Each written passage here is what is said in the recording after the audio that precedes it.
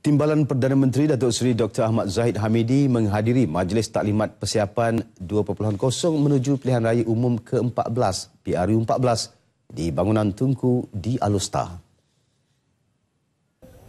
Ketibaan beliau yang juga timbalan pengerusi Barisan Nasional BN kira-kira pukul 8.30 malam itu diiringi Menteri Besar Kedah yang juga pengerusi Badan Perhubungan BN Kedah Datuk Seri Ahmad Bashar Mat Hanifah.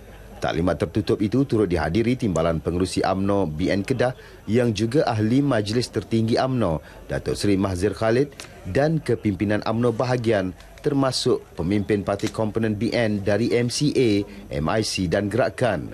Timbalan Perdana Menteri sebelum itu mendengar taklimat bilik gerakan BN Kedah PRU ke-14 yang disampaikan Setiausaha Kerja AMNO Kedah Datuk Nasir Murad.